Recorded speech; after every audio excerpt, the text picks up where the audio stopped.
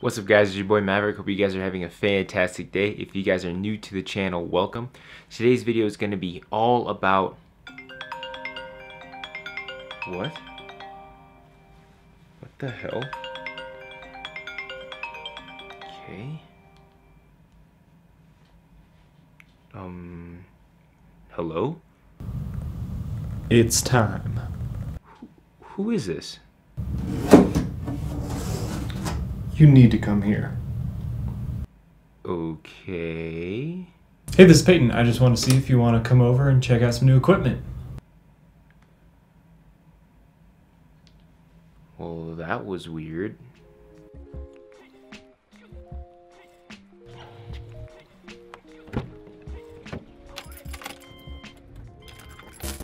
What's up, guys? Uh, I'm here with my fellow filmmaker friend, Payton. Hey there.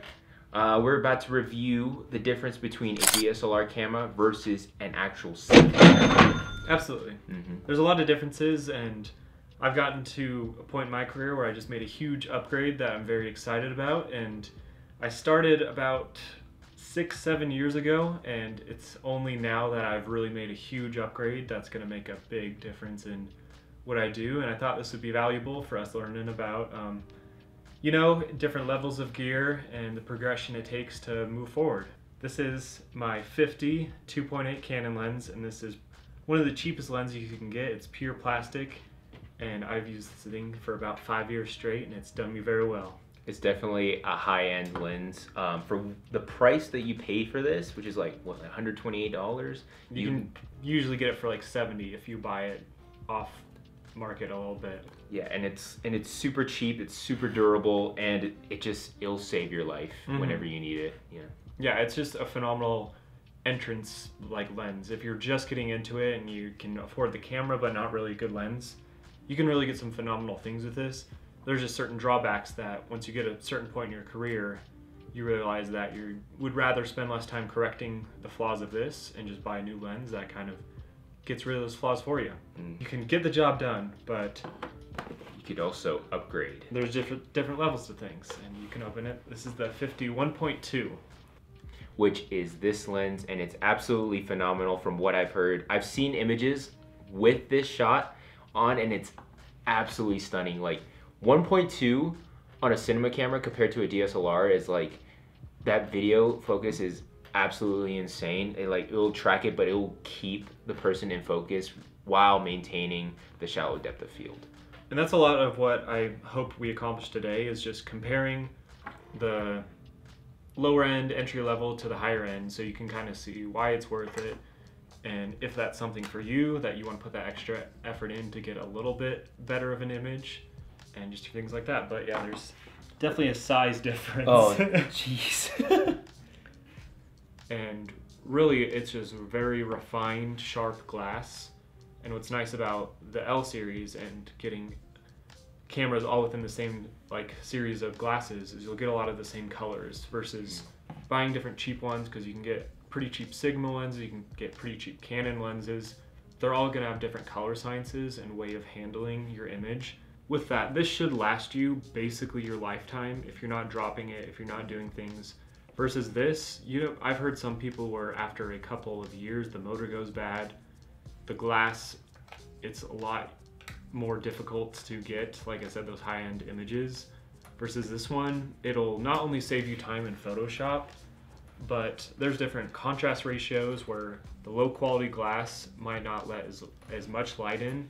So even at 1.8 on both of these this can end up being darker. This can end up blowing out your highlights a lot more so there's really a lot to it and we'll get into those comparisons hmm Beside lenses, of course, you have your cameras. What I'm shooting on right now is a Canon 6D Mark One.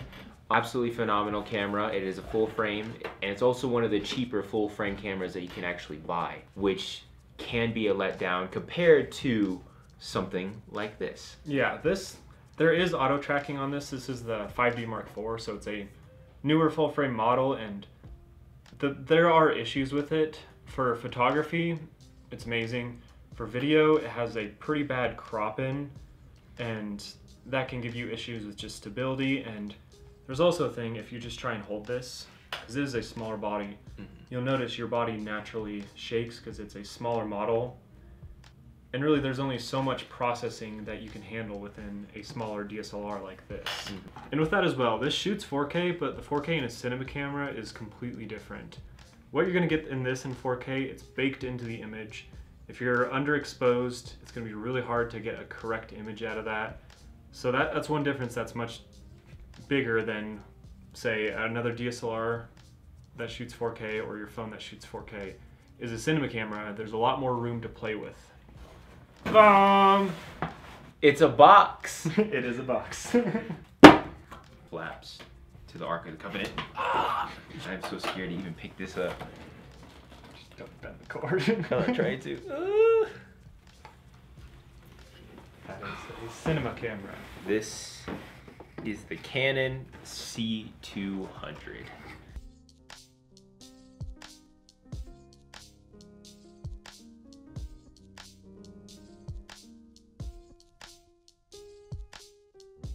Just you can do so much more with this compared to like your regular DSLR. Mhm. But with this, it's like it's super light.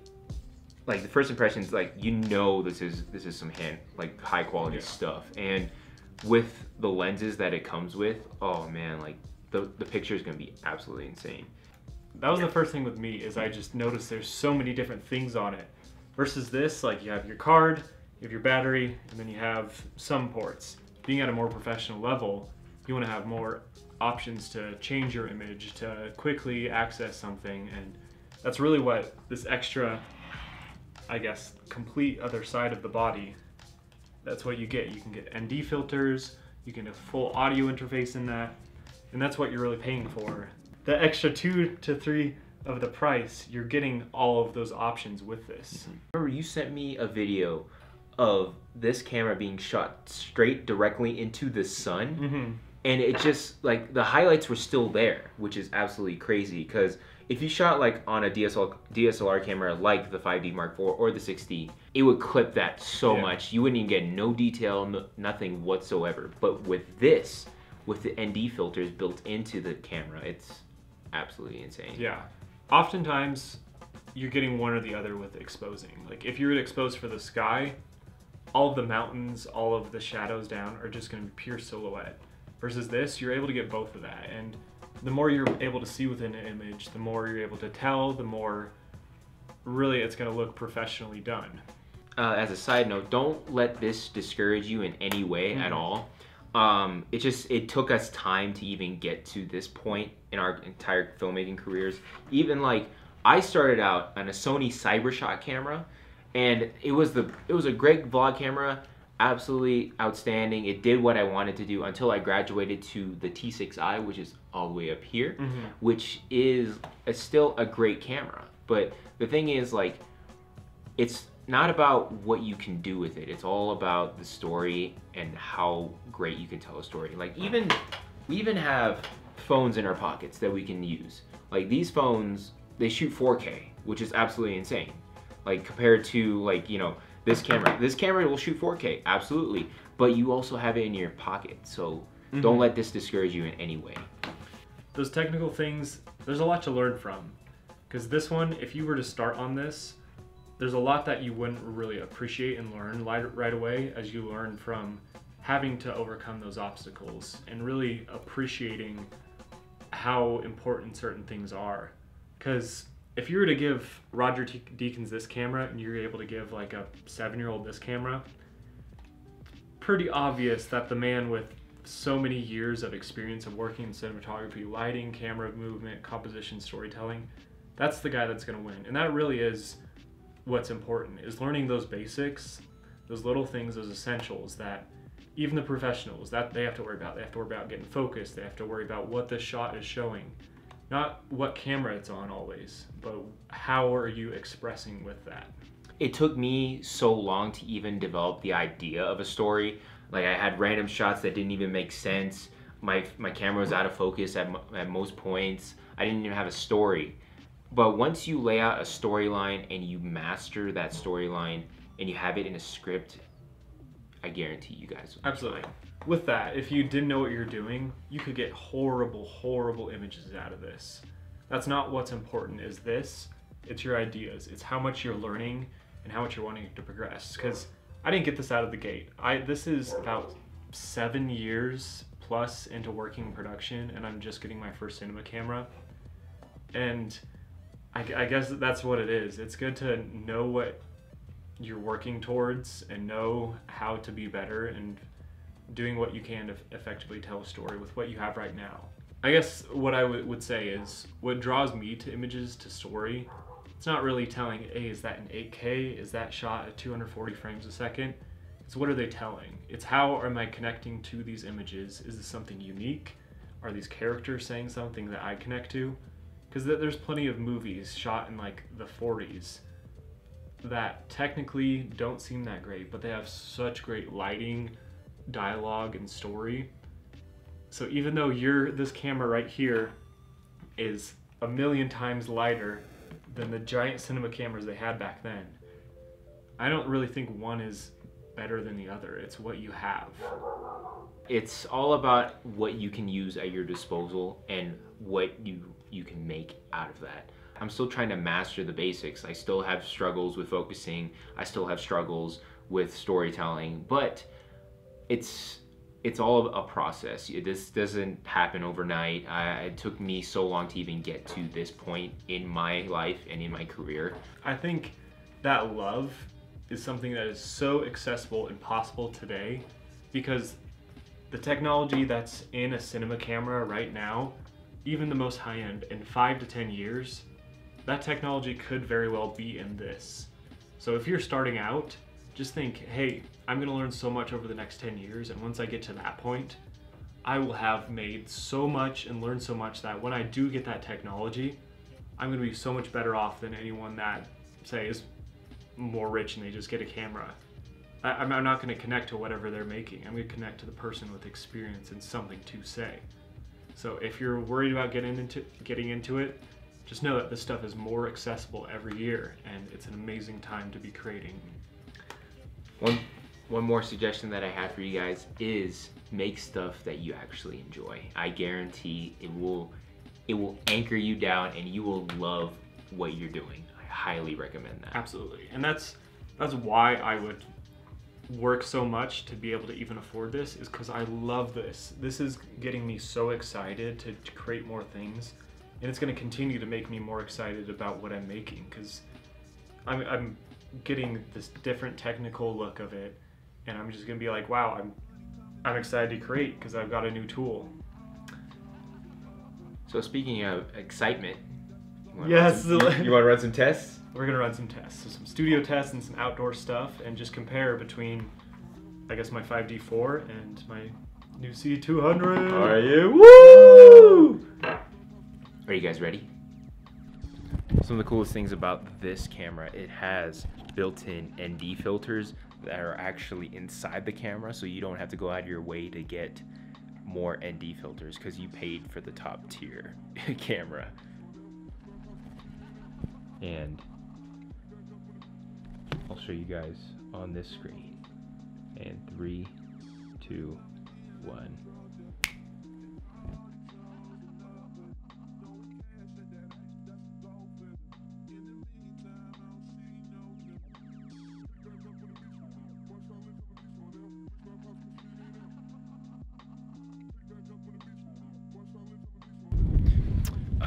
So we are leaving the undisclosed location and we are headed towards the park. As a filmmaker, you're a camel. Exactly. You gotta just carry all your stuff. Well, it's a pretty nice day out. A little windy, a little windy, but you gotta get our exercise in and we're gonna make something awesome. Look at this. I can't even focus on him. But What's the thing? An extra seven thousand dollars. Like, wait, is that a free couch? got a free couch. Oh, free couch. If anyone don't know, it's a free couch. All right, we are aiming for a little small hill over in this yonder, and we're gonna shoot on the C200. We're currently setting up the bad boy, aka the the beast. The beast. Oh, so you're the one naming it now? I mean, what do you what do you want to call it? Um, C200. C200. That's so lame. That's so lame, man. Sally the C200. Sally with a C. Don't do it. Don't do it. Don't do it. So this is a side-by-side comparison of the C200 and the Canon T6i. You can see the difference in between the highlights, how the highlights over here are blown out and the shadows are a lot darker compared to the C200 which shows a lot more detail. You're still in focus. Okay, I'll see you in a while. all right, now you're out. You're out. That is so far. Yeah, all right, let's do it. Am I, am I on it? Huh? Uh, you're not in focus yet. You're about to be though. Ooh, ooh. Am I on? Yeah, you're on.